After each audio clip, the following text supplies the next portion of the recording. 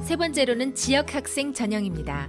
지원 자격은 충남, 충북, 대전, 세종 소재 고등학교에서 전 교육과정을 이수하고 졸업한 자 또는 기본 사고 능력, 전공 적성, 인성 이렇게 크게 세 가지 영역을 평가합니다.